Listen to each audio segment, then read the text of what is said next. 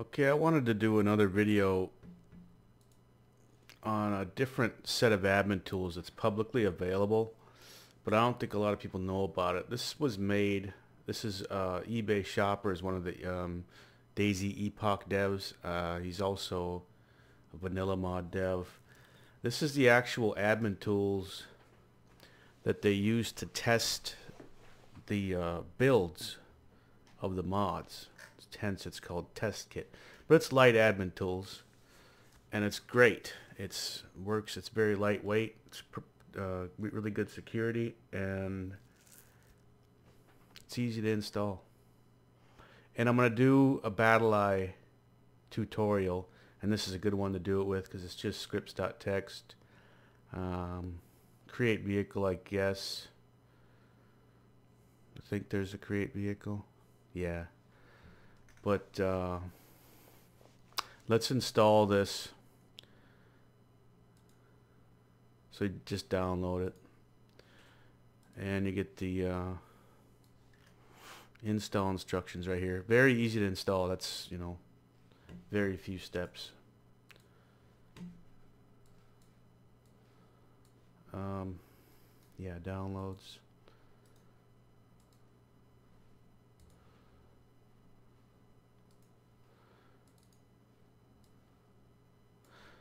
So go into your mission PBO, extract it, go into init.sqf, and you want to find this line right here. It's the very first, you find this line here. And you want to paste this above it.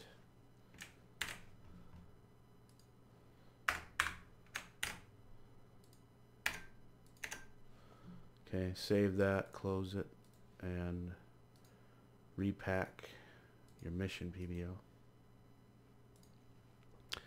Pretty easy. Go to the server PBO, extract that, and go into this init folder. Go into server functions, and you want to paste this line at the very top.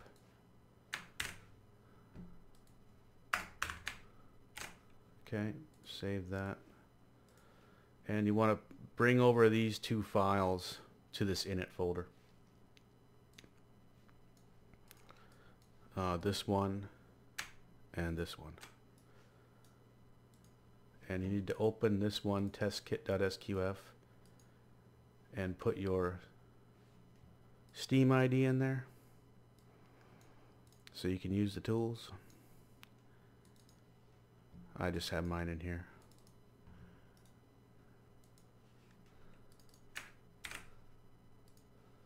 Yeah, put it right there. If you got other admins, you put them around, you know, just add as many as you want.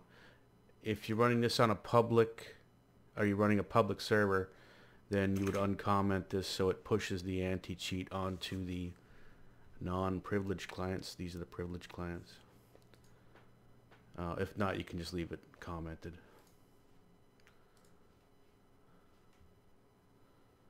Okay, so I don't need that.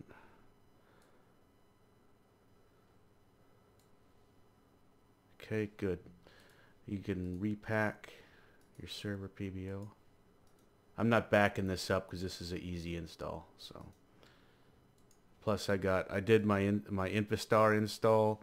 I've got my PBOs backed up here, right, and then my BattlEye filters that I did. You need to go into where your Arma is installed, your client. So Steam, Steam Apps, Common, Arma 2 Operation Arrowhead. And you need to drop this test kit folder in there. That's the other cool thing about these admin tools, or this test kit admin tools, that uh, nothing goes in your mission file, so it doesn't make the mission file big. It just comes here. And I probably didn't want to move it, but doesn't matter.